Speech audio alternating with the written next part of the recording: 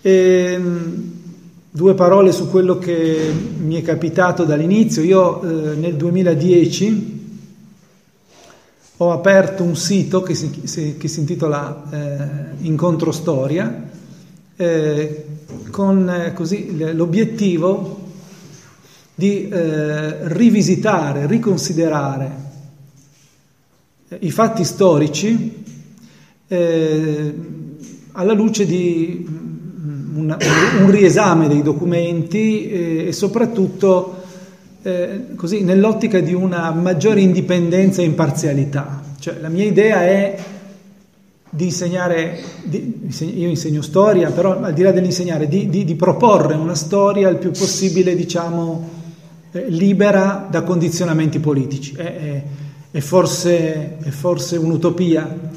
Ognuno di noi è per forza condizionato e condizionante, ma dobbiamo fare uno sforzo, dobbiamo cercare comunque di comportarci secondo quella che si definisce un'onestà intellettuale che fa sì che al di là delle nostre particolari ideologie, nostri, del nostro credo religioso piuttosto che politico, si tenti il più possibile di rimanere imparziali quando si tratta di eh, operare in un ambito come quello storico eh, nei confronti del quale bisogna porsi in modo scientifico. Non importa eh, eh chi comanda, non importa eh, in cosa crediamo, quello che importa è come si sono verificati i fatti, quello che importa è eh, l'obiettività che uno studioso deve sempre mettere in gioco per poter informare. Eh, il, il, gancio iniziale me l'ha dato un alunno, eh, quando in una delle solite lezioni, perché è spesso così, gli insegnanti se c'è qualche insegnante qui lo sa bene, gli insegnanti spesso imparano a memoria la solfa che insegnano da tanti anni, la ripetono tutti gli anni uguale, cercano il libro di testo che sia il più possibile in sintonia con quello che sanno già a memoria e non si smuove nulla, non ci si aggiorna, non si sta a cercare di capire se per caso le cose sono state rivisitate, reinterpretate, si cerca di fare il, lavoro, il minor lavoro possibile e di ripetere un po' a memoria la solita solfa. E io ero lì con la mia solita solfa che insegnavo in quella terza liceo di tanti anni fa, insegnavo la solita menata relativamente a Cristoforo Colombo. E a un certo punto, mentre stavo raccontando la mia storia, che, che era la storia di tutti, un ragazzo alza la mano e mi dice, prof, ma questa cosa, questa cosa non, non torna non funziona. Dico perché? Ma perché com'è che voi dite che Colombo era un morto di fame, figlio di Lanai di Genova, un poveraccio? E questo qui cosa fa? Piglia, va in Spagna, va a parlare con eh, i re cristianissimi, Ferdinando d'Aragona e Isabella di Castiglia, e va a proporre un viaggio eh, verso Oriente passando dall'altra parte, no? da Occidente, ma insomma dice sto ragazzo, io se devo chiedere al, al mio sindaco di, di, di, di, ricevermi non riesco, questo qui è un morto di fame, parte da Genova e si fa ricevere dai re di Spagna, no, non me la conta giusta, non è, ma, non è sciocco questo, questo è il famoso il re nudo, no? cioè attenzione, eh, le scuole sono piene di insegnanti che si arrampicano sugli specchi. È proprio tipico dell'insegnante quando comincia a spiegare e il ragazzo eh, osa fare una domanda un po' troppo impertinente allora qual è la, la, la scorciatoia? E dire eh, tu pensa a studiare invece che fare domande, oppure dire eh, non accetto domande, oppure dovresti saperlo. Un sacco di stupidaggini, di scorciatoie che servono per evitare di rispondere tutte le volte che non sappiamo cosa rispondere. Ma fa parte della questione del, dell'onestà intellettuale eh, il comportamento di chi invece almeno a casa poi va a cercarsi le domande. Io uno dei, degli insegnanti che ho amato di più a filosofia all'Università di Torino è stato il professor Marconi che aveva questa caratteristica che tutte le volte che non sapeva una cosa diceva non lo so. Oh Dio, che bello sentire un insegnante che dice non lo so. Non lo so vuol dire mi informerò perché mi rendo conto della responsabilità che ho nei vostri confronti. E quindi andrò a casa e cercherò di capire, però momentaneamente è inutile che io mi inventi una balla, io non lo so. Ecco, questo, questo non sapere ha, ha, radici profondissime nella filosofia e la consapevolizzazione del non sapere è, è l'unica cultura che ci possiamo permettere e a cui possiamo ambire. E quindi questo non sapere, questo dubbio che il ragazzo mi ha messo, un ragazzino di 16 anni mi ha avanzato, no? questa difficoltà in cui mi sono trovato mi è piaciuta molto. E mi sono chiesto cosa so io veramente della storia e in generale di tutto. Perché non proviamo a metterla in dubbio, in discussione? Così è nato questo sito che è un incontro tra tanti studiosi, diciamo, alternativi che non hanno, se, non hanno più voglia di leggere e ripetere la solita solfa, ma cercano di vedere le cose in un modo diverso. E, eh, e ci siamo, ognuno per conto proprio, perché siamo, insomma, siamo isole vaganti, non siamo un'associazione di niente, io la gestisco, ma chiunque abbia delle buone idee, mi manda articoli, eccetera, e ehm, abbiamo messo su questo sistema di, eh, ar- questo archivio di diversi studi sugli argomenti più svariati. Eh, ce ne sarebbe da dire tantissimo perché mh, questa cosa ha attirato tutta una serie di mh, eh, curiosi, ma anche di studiosi alternativi che mi hanno posto nuove eh, obiezioni, nuovi spunti di riflessione, quindi insomma è un, si è creato una, un sistema molto affascinante, ma al di là di tutto ciò, quello che riguarda il nostro incontro di stasera è questo libro sui Rothschild. Io, vagando su internet, e lo potete fare tranquillamente anche voi, mi sono reso conto di quanto ci sia, quante cose vengano dette su questa famiglia, che è addirittura considerata alla stregua di una famiglia di assatanati, di belve feroci che vogliono distruggere l'umanità, eh, ottenere il maggior potere possibile eh, ai danni di chiunque, eccetera. Allora, siccome eh, la questione era molto grossa, persino imbarazzante, mi sono fatto delle domande, mi sono chiesto se avesse un fondamento storico tutto ciò, se fosse vero che determinate famiglie gestiscono un potere sulla terra, e siamo in una, in, un, in una, discussione piuttosto attuale, se ci pensate, perché siamo nell'epoca in cui si parla di queste grandi banche che gestiscono la finanza mondiale, che gestiscono fin nei, nei, nei, negli aspetti più, più dettagliati e capillari la nostra vita, la nostra economia, la nostra cultura, la nostra moneta, la nostra sovranità. E così eh, mi sono messo a cercare E il lavoro è stato forse più difficile nel senso dello scremare la leggenda dalla realtà, no? che non poi eh, appunto eh, trovare gli, i, documenti effettivi. Cioè, la, la, cosa complicata è eh, liberarsi di tutte le, le bufale, si direbbe, eh, che sono state aggiunte e che in realtà non servono perché già di suo l'argomento è spaventoso. E il potere di queste famiglie è davvero spaventoso, senza bisogno di doverlo esagerare. Eh, ma ho cercato di, di, descriverlo in questo libro eh, in modo mh, il più possibile obiettivo. Questo libro ha funzionato bene nei primi due anni, due anni e mezzo, ma senza exploit. Potete ben immaginare che un, un argomento di questo genere non, non sia particolarmente eh, insomma, sponsorizzato dai, dai, media, anche perché i media ce l'hanno in mano loro e quindi no, non, non, se ne può parlare granché, eh, ma eh, è esploso poi di colpo da quest'estate.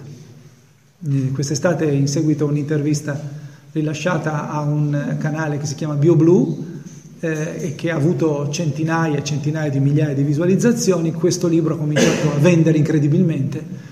E la cosa pazzesca è, libro, è che questo libro è arrivato a essere, alla fine di giugno, il quinto libro più venduto da IBS in Italia il venticinquesimo libro più venduto da Amazon in Italia e non ne avete sentito parlare. Siamo arrivati nella top 10 di BS. Questo libro ha venduto in 20 giorni 5.000 copie, ma stiamo parlando di un libro che non ha nessuna pubblicità e non potrebbe averne. Questo per dire a che livello è arrivata l'informazione. Io ho a quel punto avuto a che fare con diversi giornalisti importanti, ponendo la questione, dicendo com'è che non ne parlate? Ma lo vedete? Vi faccio lo screenshot, guardate dov'è. Neanche una risposta, perché il discorso è sempre quello della, eh, della paura di andare a toccare questioni che possano essere pericolose. E allora di che cosa stiamo parlando? Eh, parliamo di una storia nella storia. Eh, nel nuovo libro che uscirà a maggio e che in qualche modo è una specie di conseguenza di questo, io a un certo punto dico questo e, e lo dico perché me ne sono accorto. È come se noi avessimo imparato eh, una storia fatta di azioni senza aver imparato e studiato gli attori. La storia insegnata e imparata a scuola è una sequenza di azioni, ma mancano gli attori. Uno dice, ma come mancano gli attori? Napoleone, Garibaldi, Mussolini? Mm, non sono loro gli attori, non sono loro i veri attori, sono dei alcuni protagonisti ma minori.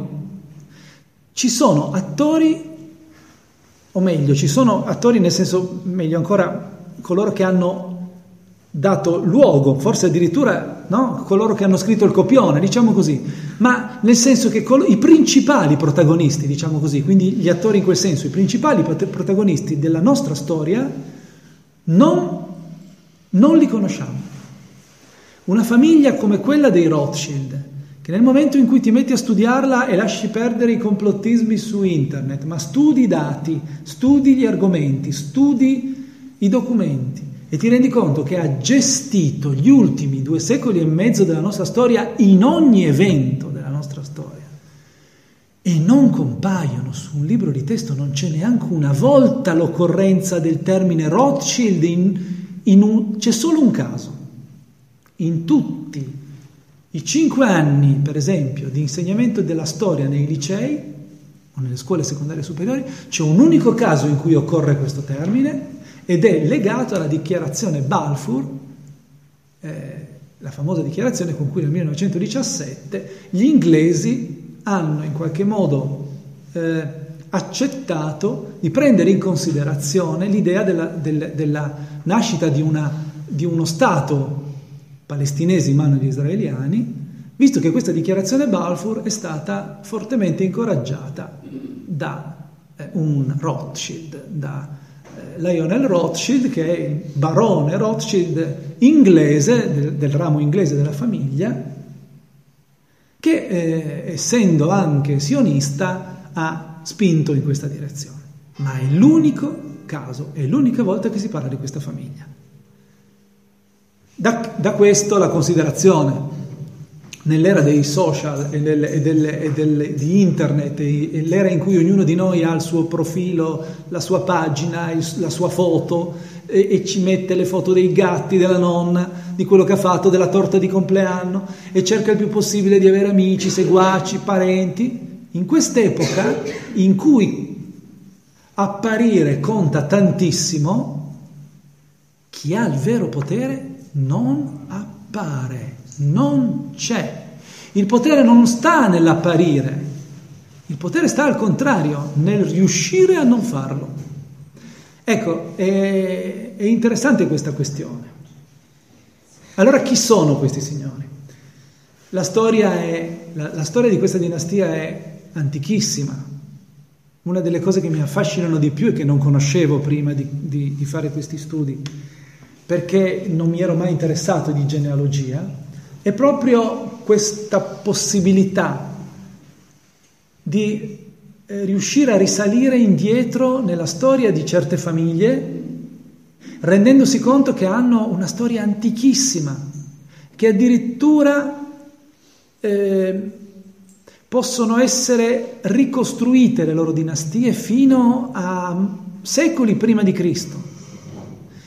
Eh, ti rendi conto che certe famiglie che hanno avuto grande potere politico ed economico nell'antica Roma sono ancora quelle che hanno un grande potere politico e economico oggi.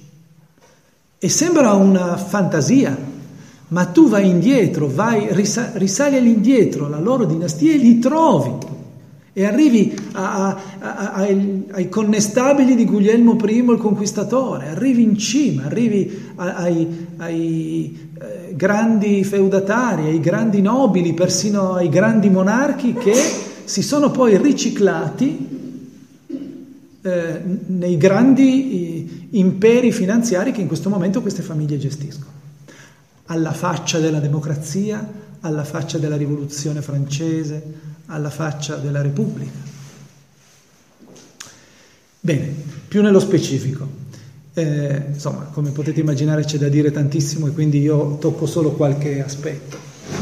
La famiglia Rothschild, nonostante abbia un'origine antichissima, vede una grande svolta quando nel 1744, eh, nel 1744 sa, eh, nasce Meyer Amschel Rothschild, un figlio di un ferramenta della eh, Judengasse di Francoforte, quindi della strada, della strada principale del ghetto ebraico di Francoforte, uno dei ghetti più importanti d'Europa.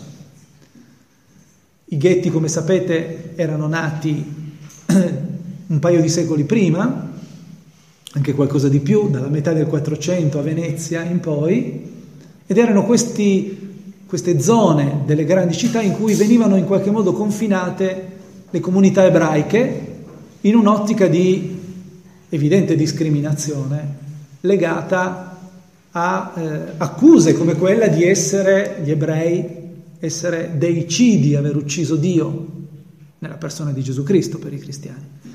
E colpevoli di questo e di altri problemi di cui magari parleremo, eh, gli ebrei ai quali veniva imputato di tutto, dal, dall'uccidere i bambini con il, il, loro sangue impastare il pane azimo e cose del genere, ma gli ebrei, proprio per tutte queste questioni e queste accuse, venivano confinati in certe zone.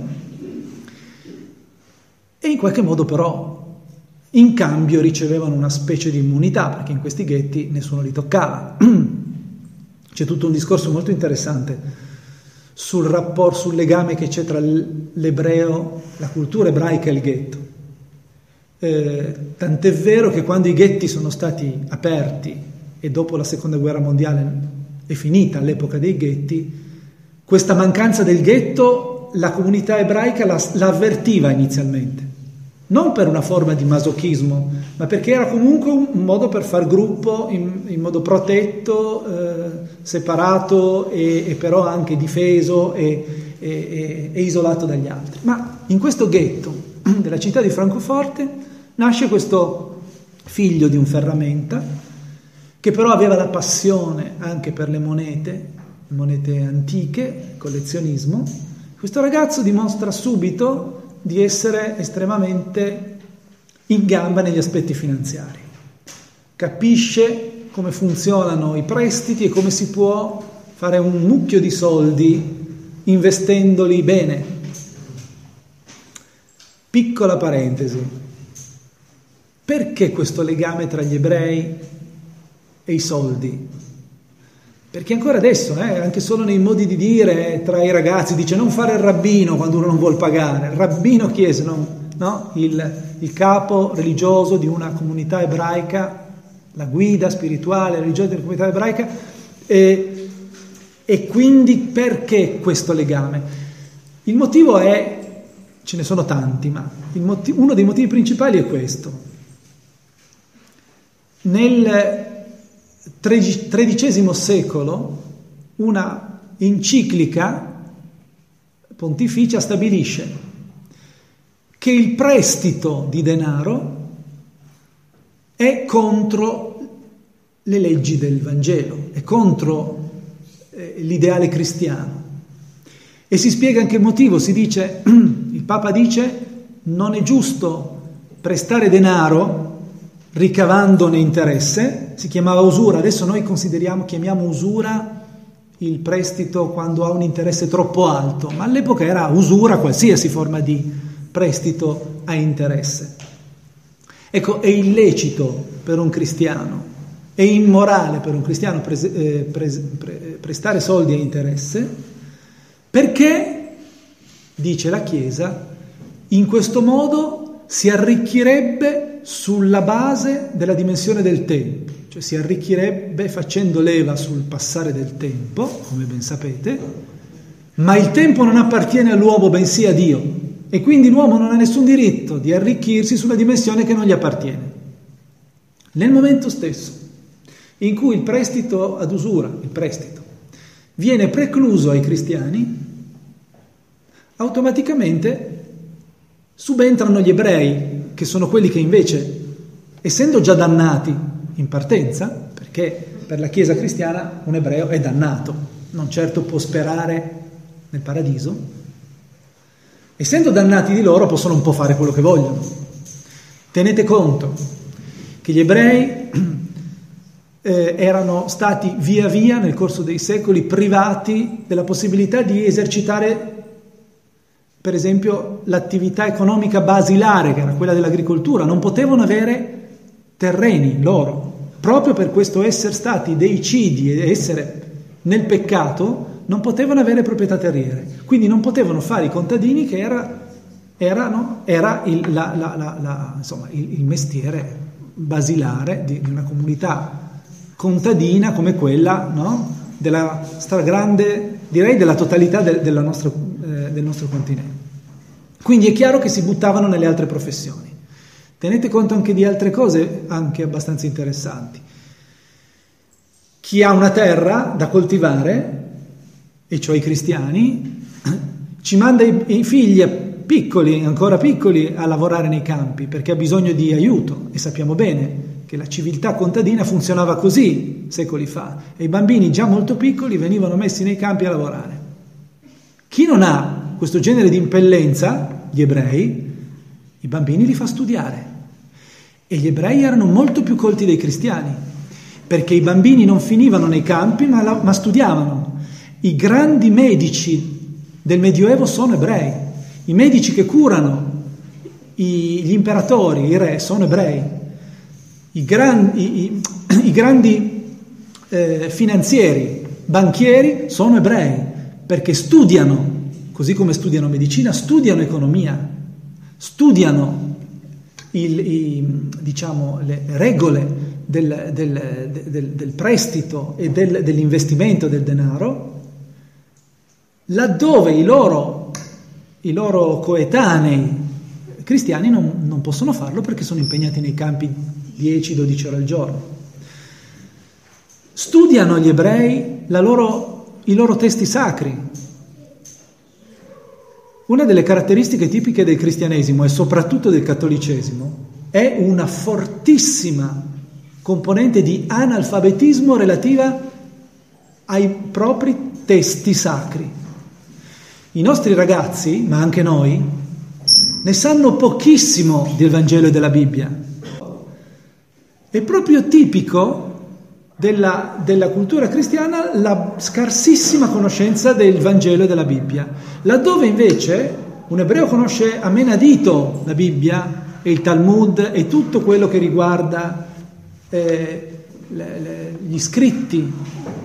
Allora, in questo clima, le persone colte, le più colte ma anche le più eh, ricche, erano proprio nella stragrande maggioranza dei casi eh, provenienti da queste comunità ebraiche. Questo ragazzo quindi studia, impara, ha un grande talento e molto presto viene, eh, diciamo, eh, considerato da, da, da tutti e, messo, e viene, e viene diciamo, additato come un esperto di finanziamenti e di investimenti. Tant'è vero che Guglielmo IX, l'angravio di Assia Kassel, un principe tedesco molto ricco, vuole conoscerlo perché vuole da lui dei consigli rispetto a come investire meglio, il meglio possibile il proprio denaro. Eh, il suo talento viene riconosciuto dai banchieri ebrei imperiali, gli Oppenheimer, che lo chiamano e lo fanno lavorare nella loro banca eh, per conto dell'imperatore e questo ragazzo cresce eh, e, e, diventa uomo e diventa molto presto un, un punto di riferimento il, il, eh, da, per, dal punto di vista finanziario. Lo stesso Langravio Guglielmo IX farà un sacco di soldi grazie a lui e tra le altre cose, eh, tra gli altri consigli che seguirà, eh, ci sarà quello di eh, investire in eserciti. Guglielmo IX comprerà eh, un esercito privato, nel senso che si comprerà e si addestrerà, si farà addestrare gli uomini e questo esercito privato poi lo userà per noleggiarlo eh, ad altri re eh, che a quel tempo avevano bisogno di soldati. Eh, nello specifico un sacco di soldi Guglielmo IX fece, dietro indicazioni della famiglia Rothschild, fece nella guerra di dipendenza americana. Eh, affittando il suo esercito personale al re d'Inghilterra. Ha perso l'Inghilterra, come sapete, con gli americani, ma non importa perché eh, il, il Langravio di Astia Kassel ha avuto i suoi soldi, cioè il suo esercito è comunque stato pagato e l'affitto del suo esercito è stato pagato. E, ehm, questo eh, Meyer Amschel Rothschild eh, quindi diventa sempre più ricco è sempre più esperto, sposa una eh, esponente di un'altra antichissima famiglia di eh, banchieri ebrei e eh, insieme fanno dieci figli, cinque maschi e cinque femmine. È all'ordine del giorno. A noi, a noi adesso sembra stranissimo, ma In un'epoca in cui la mortalità infantile era altissima, si, si, si doveva sparare molto alto col numero di figli per sperare poi di avere qualche erede. Pensate che nel Medioevo eh, la media era due figli che diventavano adulti su 20, quindi il 10%. Era chiaro che se volevi sperare in un erede dovevi farne 10, statisticamente parlando, per questioni legate soprattutto alla, alla, all'aspetto della salute. Ma qui c'è un altro discorso che non è solo quello e capiremo meglio dopo a che cosa serve tutta questa discendenza, insomma. Quando questi figli crescono vengono subito, eh, diciamo, istruiti nell'arte dell'economia e della finanza, i cinque maschi. Le cinque femmine non certo però vengono allevate per fare la calza, finiscono mogli a, eh, nei confronti di... Eh, altrettanti esponenti di famiglie di banchieri eh, ebrei, ebrei, molto influenti, molto importanti. Eh, detta di passaggio. Eh, per scrivere questo libro io mi sono eh, servito anche di, di eh, biografie ufficiali come eh, per esempio quella relativa ai Rothschild da parte un, del, biografo, del, biografo, ufficiale che si chiama Lotman, il quale ecco, è sempre molto così, eh, divertente leggere queste biografie, perché questi, perché questi biografi hanno soprattutto l'intento di lodare incensare queste famiglie, altrimenti questi libri non sarebbero usciti.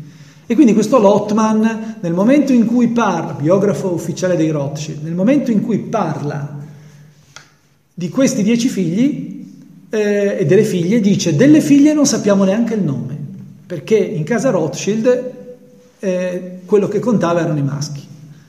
Vai un po' a spulciare le genealogie e i nomi saltano fuori tutti. Ma perché non dovremmo saperli questi nomi? È molto semplice, proprio perché queste figlie sono lo strumento principale per intessere alleanze con altre famiglie di banchieri, aumentare gli affari, il volume di affari e, e, e quello de, de, de, insomma, della ricchezza.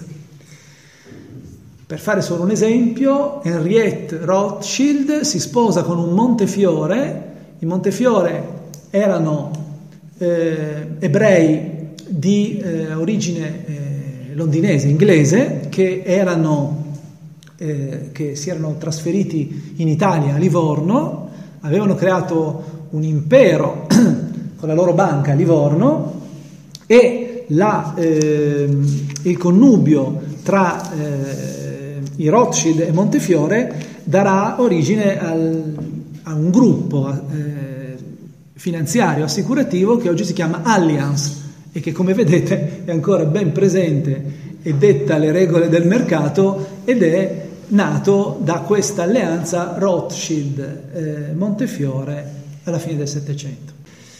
Eh, dunque, esistono due sistemi, studiando un po' queste, queste, famiglie pian piano lo si capisce, esistono due sistemi per eh, utilizzare proficuamente i matrimoni.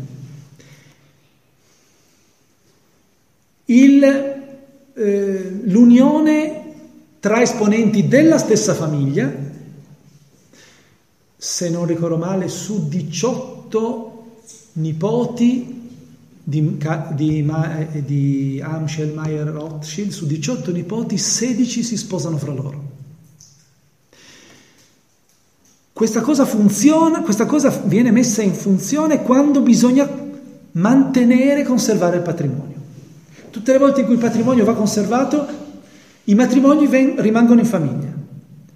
Quando invece è il momento di espandersi e di moltiplicare, allora i matrimoni servono come alleanza fondamentale per eh, stipulare accordi con altre famiglie. E qui un meccanismo molto interessante è quello della dote. Noi sappiamo che sin dall'antichità, adesso si è persa questa cosa un po', ma sin dall'antichità il matrimonio faceva sì che la futura, insomma, la sposa portasse una dote. Nella, nell'ambito di questi matrimoni tra eh, famiglie di finanzieri, di banchieri ebrei, la dote è quasi sempre una cospicua parte del pacchetto azionario dell'azienda di papà. Quindi si creano dei passaggi de, de, de, delle, delle, delle partecipazioni azionarie all'interno delle aziende che sfuggono completamente al controllo fiscale, perché sono ufficialmente dei regali, è una dote, e che sfuggono a qualsiasi forma di informazione perché rimangono, insomma, rimane internos tra, tra, tra, le due famiglie questo genere di scambio. Ecco, quindi la dote, per esempio, aveva questa interessante funzione di mettere in società, diciamo, le due famiglie subito, dall'inizio, dal, dal, dal matrimonio stesso, si entrava in società eh, in qualche modo entrando l'uno dentro il board della, della banca piuttosto che della, della società dell'altro, dell'altro, dell'altro genitore. I cinque maschi, quando raggiungono l'età giusta e la competenza giusta, vengono mandati da Meyer Amschel, Rothschild, quindi dal loro padre, vengono mandati in cinque grandi capitali a fondare le cinque filiali della banca che nel frattempo eh, Meyer eh, Amschel Rothschild era riuscito a creare a Francoforte. O meglio, di quei cinque, uno rimane a Francoforte e sarà il suo successore. Gli altri quattro vengono mandati in quelle che sono in quel momento le più grandi capitali europee. Nathan viene mandato a Londra e là fonda la banca Rothschild di Londra. Jacob, che verrà poi soprannominato James, viene mandato a Parigi e là a Parigi fonda la Banque de Rothschild, cioè i Rothschild di Francia, che saranno in assoluto i più potenti. Salomon Rothschild viene mandato a Vienna e aprirà la banca Rothschild di Vienna. La quarta capitale in cui viene mandato un, uno dei figli Rothschild è Napoli. Napoli. Che senso ha Napoli? In realtà Karl Rothschild finisce a Napoli e in un, in un, in un luogo come questo, in Piemonte, dove ci hanno insegnato, ma in realtà l'hanno insegnato a tutti gli italiani, che Napoli era sottosviluppata, che quando sono arrivati, quando è arrivato Garibaldi, quando sono arrivati i piemontesi, hanno trovato una situazione di povertà assoluta e in qualche modo no, li abbiamo tirati su. Andate a guardare il patrimonio finanziario del Regno di Napoli all'epoca della, eh, dell'annessione all'Italia, no? quando sta per nascere l'Italia, tra il 60 e il 61 c'è questa, c'è questa spedizione dei Mille, andate a guardare, era 20 volte quella di Torino, quella del Regno Sabaudo. 20 volte tanto. Lì ci sarebbe da aprire di nuovo un capitolo enorme di studio sull'effettiva eh, eh, situazione economica del Regno di Napoli rispetto al Regno di Sardegna, cioè al Piemonte e la Sardegna, e il Regno di Savoia e al depredamento bestiale che i Savoia hanno operato nei confronti del sud, che poi è diventato sottosviluppato, che poi è diventato alla fame, travolto dal brigantaggio come segno di protesta violentissima nei confronti di questa situazione e poi della mafia. Uno dei Rothschild viene mandato a Napoli, non a Torino, non a Roma, a Napoli. E là fonda la sua, la, la, la, la filiale, diciamo, italiana dei Rothschild. Come funzionavano queste cose? Ecco, un aspetto secondo me piuttosto interessante è eh, quello della spregiudicatezza con cui questi banchieri gestivano eh, le loro finanze e i, fin- e i finanziamenti.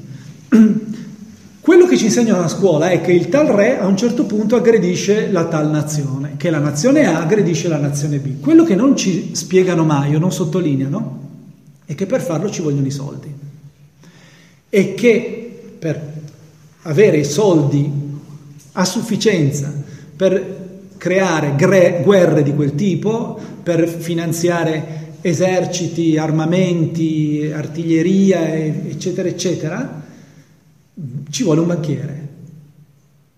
Un re non può autonomamente, come si crederebbe, stampare moneta. Guardate, c'è un motivo anche solo basilare, banale. Al momento della fine della guerra, qualsiasi, di qualsiasi guerra si tratti, c'è un vincitore e uno sconfitto. Lo sconfitto, altra cosa su cui non si sottolinea mai abbast- che non si sottolinea mai abbastanza, lo sconfitto paga i danni. Chi rompe paga, lo sconfitto è quello che deve pagare i danni al, al vincitore, perché la guerra è costata e lo sconfitto deve pagare. E al, al vincitore non gliene frega niente della sua valuta, perché non se ne fa niente della sua valuta. Qual è lo scambio che può essere fatto soltanto attraverso l'oro. O mi dai valuta in oro e stampi, che ne so, marchi in oro, stampi eh, franchi in oro, stampi lire in oro, oppure mi dai oro direttamente, ma io, no, io non me ne faccio niente delle tue banconote. E per avere oro o valuta in oro ci vuole chi questo oro ce l'ha. Un'altra cosa che non si insegna mai è che le banche nascono nelle gioiellerie, nel Medioevo. Erano gli orefici, i gioiellieri i primi banchieri, erano quelli da, che erano, essendo, essendo, più protetti, essendo, avendo nel, nelle loro botteghe eh, una merce così preziosa, eh, erano quelli che custodivano con maggiore sicurezza eh, i tuoi depositi. Prima di partire per un lungo viaggio un mercante portava i soldi per non lasciarli a casa sua e farseli rubare, li portava dal, dall'orefice sotto casa, che normalmente era ebreo, per il motivo di cui abbiamo visto sopra, per la questione de, del prestito, eccetera, e chiedeva di, ten, di tenerglieli. E in un primo tempo quei soldi vengono conservati gratuitamente, poi si comincia a chiedere una percentuale su questo, su questo deposito. E allora gli stessi che prestavano erano anche quelli che permettevano un deposito dei soldi e custodivano questi soldi in cambio di una, di una percentuale, di un ritorno economico. E allora cosa succede? Accade che queste banche si trovino a finanziare i re che si scontrano tra loro, ma la cosa è geniale è che spesso è la stessa banca. Se io ho una filiale in Inghilterra, a Londra, e ho una filiale in Francia, a Parigi, quando si verifica, questo è il caso più eclatante, è, un, è l'esempio che si fa spesso, ma è importante, quando si verifica la guerra tra Francia e Inghilterra, quando si verifica, famosissimo esempio, la battaglia di Waterloo o Waterloo come volete, cioè lo scontro finale tra Napoleone eh, e il duca di Wellington, eh, per eh, scontro che vedrà definitivamente sconfitto Napoleone, l'esercito francese, per arrivare fin lì e per condurre la sua guerra, Napoleone in testa, che poverino si fece tutta la battaglia coricato, non so se lo sapete, una, dentro una carrozza per un dolore bestiale, lui soffriva di emorroidi, ha fatto tutta la battaglia di Waterloo coricato dal dolore per le emorroidi, questo è stato spaventoso, ma sono particolari interessanti che ci rendono anche un pochino più vicini i personaggi della storia. No? Insomma, in questa battaglia così epocale, di importanza così grande per la nostra storia, i francesi sono finanziati dai Rothschild di Parigi, gli inglesi sono finanziati dai Rothschild di Londra. Chiunque vinca, chiunque perde, perda, i Rothschild hanno vinto. Succede così che Napoleone viene sconfitto, ma prima aveva ricevuto un prestito dai Rothschild di Francia per iniziare la sua battaglia. Wellington aveva ricevuto un prestito dai Rothschild di Londra per iniziare la sua battaglia. Alla fine Napoleone sconfitto, deve pagare i danni agli inglesi, contrae un secondo prestito presso la banca Rothschild di Parigi per eh, per restituire, per risarcire il nemico. Questi prestiti sono sempre prestiti enormi che non si riesce così facilmente a saldare e molto spesso questi prestiti provocano una situazione per cui per poter restituire il prestito ne contrai un altro. Perché a un certo punto, siccome quei prestiti eh, eh, si basano su, eh, come si può dire, sono collegate a delle garanzie e, e, la garanzia vuol dire che se per caso eh, io non riesco a risarcirti, magari mi parte un pezzo di Stato che te lo prendi tu, allora a quel punto per evitare di doverti cedere questa garanzia io contraggo un altro prestito per continuare a restituirti i soldi e poi mi trovo però indebitato anche con qualcun altro e molto spesso è la stessa banca. Facciamo un esempio che pochi conoscono. L'Italia nasce grazie a una serie colossale di prestiti e il famoso debito di cui parliamo oggi in gran parte nasce lì. Precisamente, poi se volete sono ancora più preciso perché i dettagli in questo caso sono raccapriccianti, ma comunque accade che Cavour chiede un prestito ai Rothschild di Francia, il solito James Rothschild, chiede un prestito ai Rothschild di Parigi per poter unificare l'Italia e per fare tutta una serie di spedizioni, compreso quella dei mille, per arrivare poi all'unificazione d'Italia. Il problema è che poi quel prestito non riesce a restituirlo e per evitare di cadere poi nella, nella rete dei, dei, dei, dei creditori, Cavour contrae un secondo prestito con i Rothschild di Napoli. E a quel punto noi siamo a due prestiti.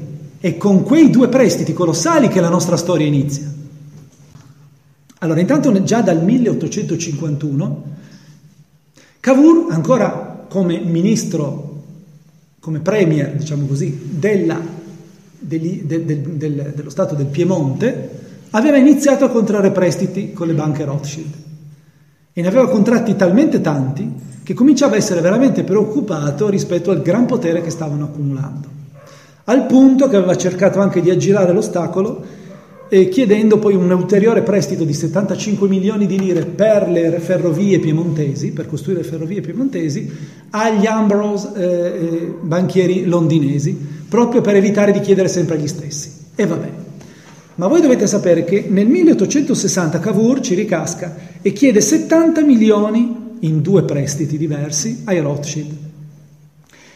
Nel 1861, Cavour nel frattempo muore, muore nel giugno del 61, L'Italia chiede 700 milioni, 700, siamo nel 1861, 700 milioni di lire ai Rothschild di Francia in un primo prestito e altri 500 milioni di lire nel, come secondo prestito, per un totale di 1 miliardo e 200 milioni di lire nel 1800, tra il 61 e il 63, pari oggi a circa 6 miliardi di euro.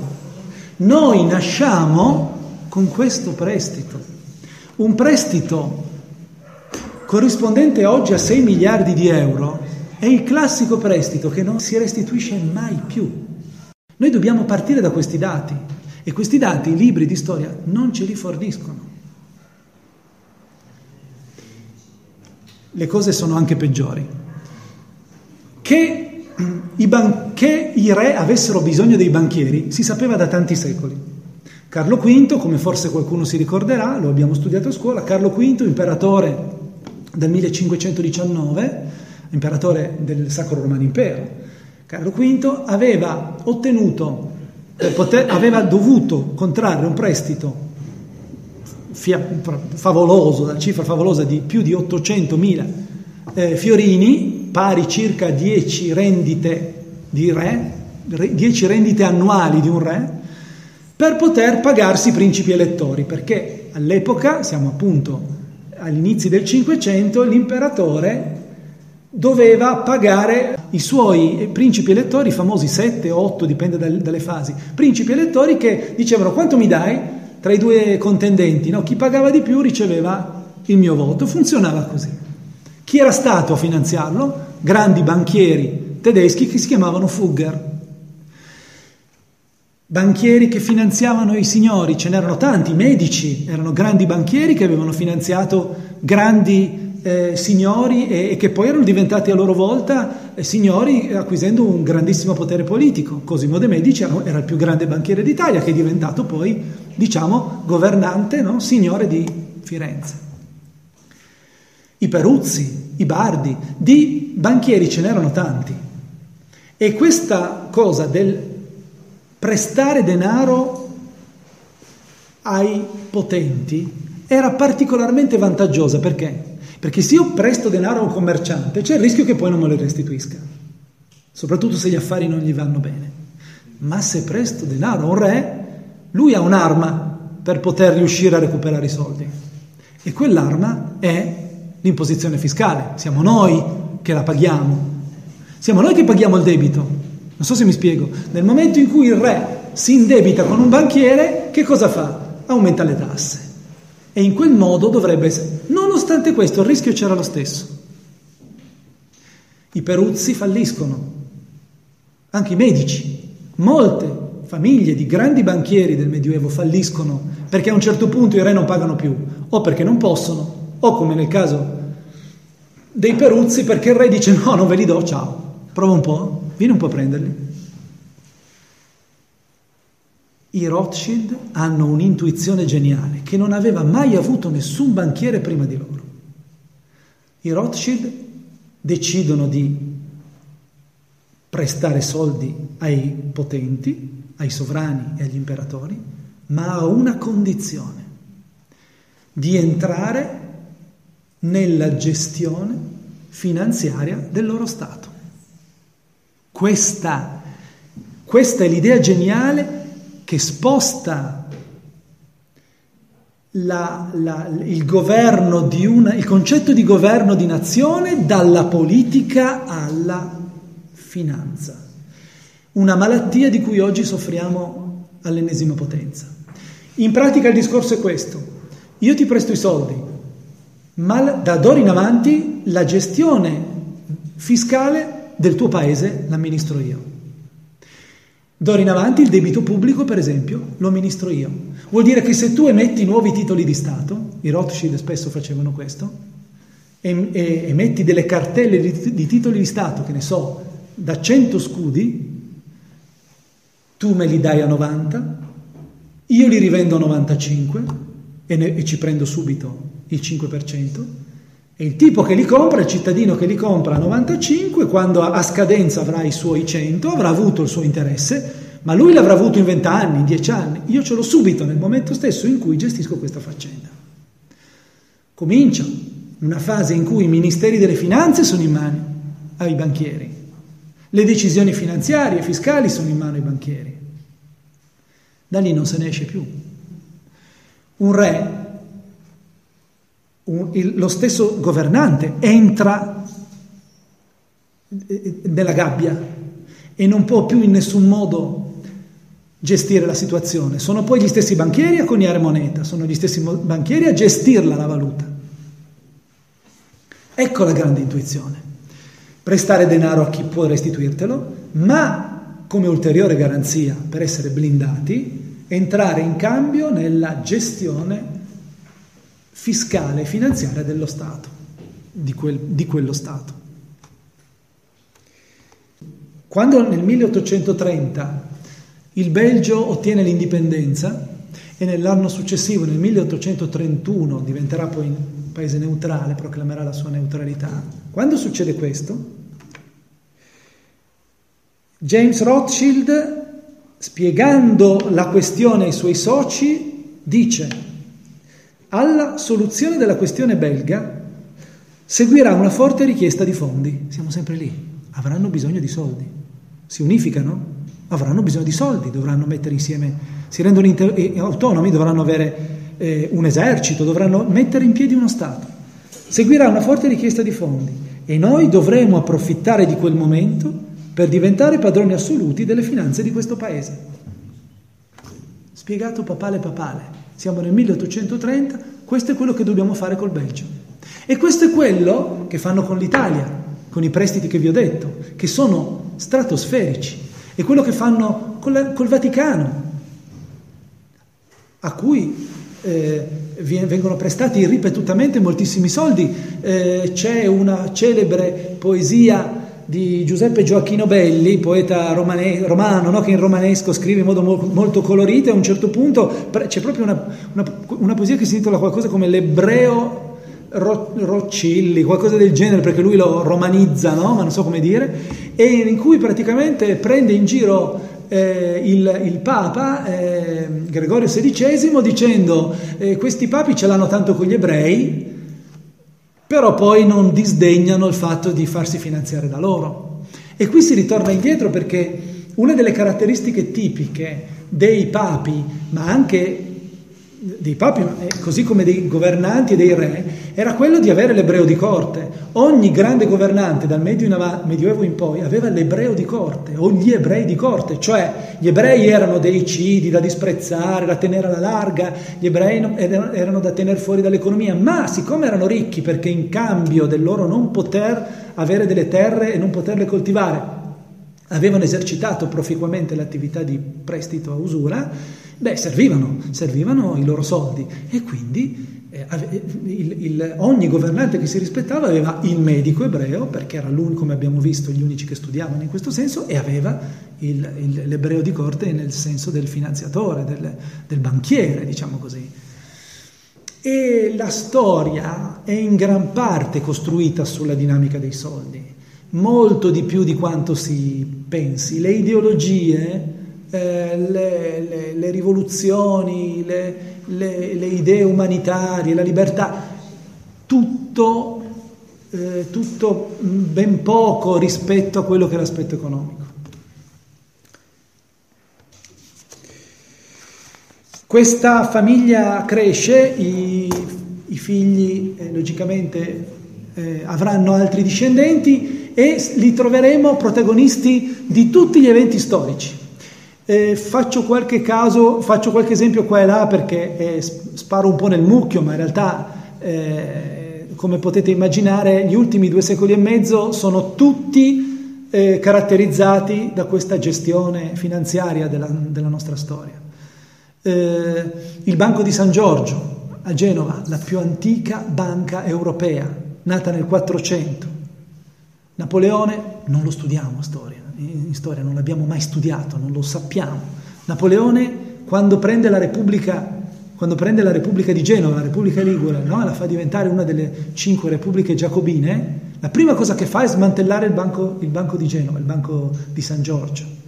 Prende tutto quello che c'era, c'erano depositi di re, di sovrani, di vescovi, depositi di altissimo valore, porta tutto a Parigi e si finanzia i, i grandi viali alberati parigini, eccetera la grandissima mole di, di, oro che viene prelevato dal banco di San Giorgio a Genova, che viene svuotato, è la fine de- della storia di questa banca, la grandissima eh, mole di, denaro, di oro che viene presa, viene affidata a James Rothschild. Ro- e James Rothschild è colui che si occupa dello smercio dei lingotti d'oro e da lì in avanti i Rothschild ottengono un monopolio Faccio un esempio ancora che è abbastanza eclatante, ma insomma i libri di testo non lo scrivono ancora, eppure è una cosa assodata da anni, ma i nostri figli non lo studiano. Lenin dà il via alla rivoluzione d'ottobre, e quindi alla rivoluzione russa, nel 1917, dà il via alla rivoluzione d'ottobre grazie ai finanziamenti di una banca tedesca con filiale a Stoccolma e di una banca americana cioè i tedeschi e gli americani finanziano la rivoluzione russa. Aspetta, Lenin, il comunista, quello che ce l'ha con i borghesi, con i soldi, con le banche, si fa finanziare dagli americani. Oh, Der Spiegel ha trovato gli assegni, i bonifici bancari, ci sono gli estremi. Ma come facciamo allora a raccontare poi la storia a scuola continuando a inventarci le ideologie del comunismo. Ora voglio dire, io non sto dicendo che Lenin non ci credesse, ma pensate un po', siamo nella prima guerra mondiale, i tedeschi da una parte, i russi dall'altra. Quindi abbiamo Russia da una parte, Germania dall'altra, gli americani con l'intesa sono entrati in guerra contro i tedeschi, che cosa succede? I tedeschi sono, vi ricordate, impegnati su due fronti in contemporanea, il fronte occidentale con i francesi, il fronte orientale con i russi, non ce la fanno, due, l'esercito è diviso, no? schizofrenico, deve combattere su due fronti, i tedeschi fanno una cosa, finanziano una rivoluzione d'ottobre che faccia crollare lo zar, e che cosa chiedono in cambio a Lenin? Noi ti stacchiamo questo assegno, tu vai, fai la rivoluzione, ma la prima cosa che fai una volta preso il potere è fai uscire la Russia dalla guerra e noi possiamo concentrarci coi, sui francesi. E questo è quello che accade. Appena viene in sala al potere, c'è la famosa pace di Brest-Litovsk, la Russia esce ad ogni costo, fra l'altro con un costo terrificante in termini di perdite di, terreni, di territori e, e, e, di, e di soldi, perché uscire da una guerra in corso è costosissimo. La Russia esce, la Germania è libera di concentrarsi sui francesi. E gli americani? Ma gli americani avrebbero dovuto avere cioè avrebbero dovuto mantenere la Russia in guerra perché era dalla loro parte. Perché hanno finanziato anche loro Lenin? Ma è semplice, perché Lenin in cambio avrebbe garantito decenni e decenni di arretratezza in una Russia che fino a quel momento era un competitor terribile avendo i pozzi petroliferi a Baku. Una Russia in cui c'erano pochissime vetture, ancora automobili, e c'era un bassissimo consumo di benzina e quindi il prezzo del carburante era bassissimo. Se fosse continuato in questo modo, gli americani avrebbero dovuto fare i conti con una competizione, con una, con, con una, concorrenza spaventosa per il mercato del petrolio. Ma se ci vai tu, Lenin, e metti in atto un potere che fa uscire la Russia dalle logiche di mercato internazionali, ritorna al baratto, abolisce l'uso della moneta e, e, si isola completamente da tutti, noi America siamo a posto e liberi per poter gestire un monopolio mondiale da un punto di vista economico-finanziario e la Germania è libera di farsi la sua guerra. Tanto poi ci pensiamo noi a sconfiggerla. Ecco, questo, con questi criteri la, la, la storia noi non l'abbiamo mai studiata ed è sconvolgente e forse anche abbastanza schifosa, però è è anche interessante perché fa capire che probabilmente ci sfugge qualcosa e che vale la pena eh, approfondirla molto di più. Insomma,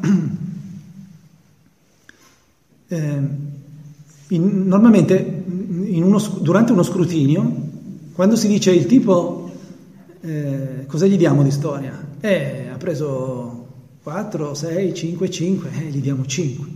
Porca miseria, ma dargli 5 di storia? Ma la storia basta studiarla, si dice sempre così. Ma hai preso 5 di storia? Ma la storia basta studiarla. Cosa vuol dire la storia basta studiarla? Vuol dire basta che te la impari a memoria, no? E eh no. E che se comincio a ragionarci sulla storia, se voglio capire, la storia non è così facile. La storia non è più una stupidaggine da imparare a memoria. Ma noi vogliamo continuare a dare l'idea a scuola di una storia che basti impararla, più o meno passivamente, tanto da non rompere troppo le scatole, da non sollevare troppi dubbi. E come vedete i dubbi ci sono come.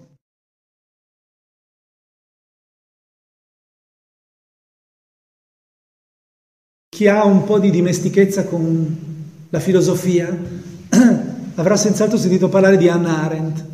E Anna Arendt a un certo punto in un libro famosissimo che si chiama, la, o meglio, Anna Arendt scrive un libro famosissimo che si chiama La banalità del male, a proposito della cattura e del processo e poi dell'esecuzione della condanna a morte del, di Eichmann, di un gerarca nazista.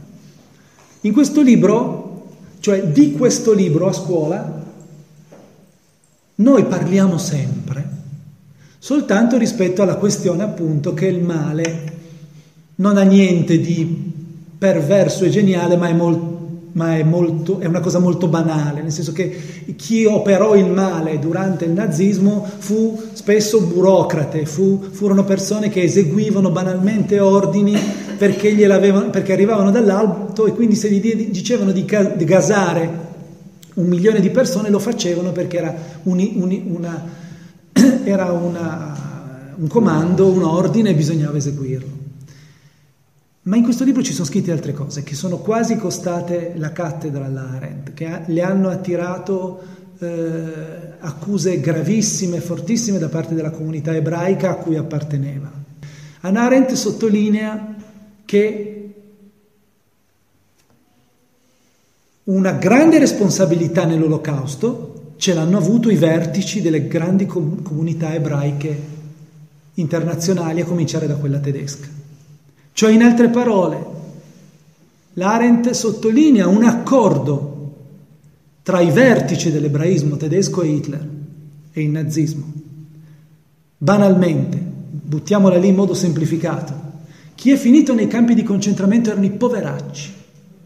I ricchi ebrei si sono salvati tutti, anche perché avevano in mano le finanze che a Hitler stesso servivano per poter fare la sua guerra. E uno degli esempi più spaventosi di questa questione è questa Ige Farben. Ige Farben era un colosso gigantesco eh, messo, in atto, messo insieme dalla famiglia Warburg, che è un po' come se fosse, diciamo che sono i Rothschild tedeschi, con sede ad Amburgo, quelli che alla fine hanno determinato le sorti della Germania, incluso poi tutta la questione che ben conosciamo del nazismo, eccetera. Questo colosso era, un gigantesco eh, gruppo di eh, industrie chimiche che non solo esercitava il, dunque er, era considerata la principale azienda, il principale colosso industriale tedesco, ma era il principale gruppo chimico del mondo. E, Ligue Farben che teneva insieme sei grandi aziende chimiche, tra le quali la Bayer, per esempio, eh, eh, l'Agfa, eh, una serie di aziende chimiche importanti. Lichefarben eh, cresce e durante il nazismo, eh, quando si verifica la famosa arianizzazione forzata, Vuol dire che le aziende in mano agli ebrei o le banche in mano agli ebrei, Hitler pretende che vengano eh, strappate dagli ebrei, agli, agli ebrei, e consegnate agli ariani. E, e quindi quando si studia questo si studia che gli ebrei hanno perso tutto. Non è vero. In realtà Hitler lasciò ampio margine di, ampio, ampio, ampio diciamo, spazio di manovra agli ebrei ricchi, potenti, che avevano in mano queste aziende, permettendo loro di scegliersi dei prestanome, insomma dei, dei titolari eh, ariani, cioè non ebrei, che al loro posto mantenessero in vita e gestissero la proprietà del loro gruppo e, e, e mantenessero insomma in piedi i loro interessi Chiaramente questi lo facevano nell'ottica di un domani andarsi poi a recuperare le loro, le loro aziende. Ora cosa succede? In questo clima di arianizzazione i Warburg sono gli ultimi a essere costretti all'arianizzazione, pensate fino al 38, Hitler sale al potere nel 33, fino al 38 i Warburg mantengono la loro banca, MM Warburg, che è la più forte banca tedesca, è una delle più forti al mondo, la tengono in piedi loro, nelle loro mani, nel 1938 vengono obbligati alla realizzazione, la loro banca passa dei prestanome, che, da cui poi re, la recupereranno a fine guerra, dopo la caduta del nazismo, e la IG Farben viene in qualche modo fusa con eh, eh, la Standard Oil di, dei Rockefeller americana e, e cambia nome eh, viene volgarmente chiamata eh, IG Standard, mi sembra qualcosa del genere, cioè diventa una banca che ufficialmente, chiedo scusa, diventa un gruppo chimico che ufficialmente è nelle mani eh, americane dei Rockefeller, con sede a New York. In realtà questa, questa IG Farben stabilisce una serie di filiali in prossimità dei più grandi campi di concentramento, tra i quali Auschwitz. E utilizzava manodopera gratuita eh, nella, nel, nello specifico di migliaia e migliaia di ebrei che uscivano tutti i giorni da, da Auschwitz e, e, si infilavano lì nel, dietro l'angolo c'era, c'era, l'azienda, entravano, lavoravano in, in condizioni di schiavitù, logicamente senza nessuno stipendio, per decine di ore, per fabbricare quello, quel famoso Zyklon B che secondo i giudici di Norimberga è quello con cui venivano gasati gli stessi ebrei, quindi se lo fabbricavano da soli. Quindi questa IG Farben viene in realtà gestita e arricchita e potenziata attraverso la manodopera gratuita e sotto forma di schiavitù degli stessi ebrei che, che in qualche modo eh, eh, si occupa poi di, di far fuori. Tant'è vero che a Norimberga uno specifico capitolo del processo contro i nazisti è dedicato alla questione Gefarben. Nel senso che tutti i titolari di Gefarben, tutti i soci proprietari, i Warburg ormai si erano messi in salvo, ma tutti i soci proprietari vengono chiamati alla sbarra, giudicati dai giudici di Norimberga, dai giudici americani, condannati a pene in realtà piuttosto ridicole, che vanno tra l'anno e mezzo, mi sembra, e gli otto anni di reclusione. E nel momento in cui però Norimber- il processo di Norimberga si chiude, per buona condotta, così, vengono subito rilasciati. E uno dei principali direttori di IG Farben, che aveva avuto forse la, la, la, pena più alta, mi sembra otto anni di reclusione, che se la, casa, che se, se la cava invece molto velocemente, rientra in Bayer Ormai Lighe Farben viene smembrata e ritorna divisa nelle varie aziende da cui era stata no, costituita, rientra in Bayer e ne diventa dirigente eh, e, e, e, di nuovo principale azionista fino poi alla pensione eh, in cui si ritira straricco.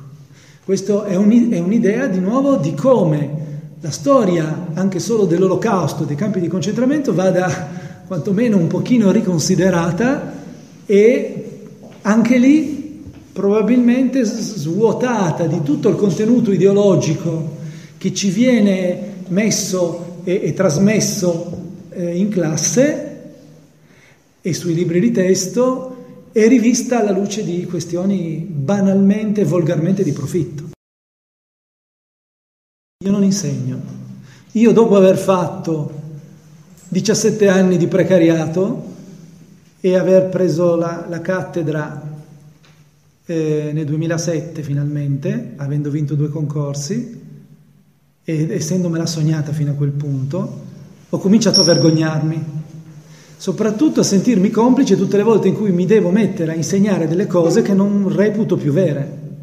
D'altra parte, nel momento in cui mi sono eh, messo nella condizione di insegnare quello che, che, che io ho trovato sui documenti e quindi di dissentire dai libri di testo che i ragazzi adottano, sono stato subito marchiato e ho rischiato molte volte, non, non niente di grave, ma la, la, la calunnia, il, eh, il, le, come, le, maldicenze, eh, colleghi che, che, mettono in dubbio la mia buona fede eh, e che nell'ora successiva suggeriscono ai miei stessi alunni di non credere a quello che dico.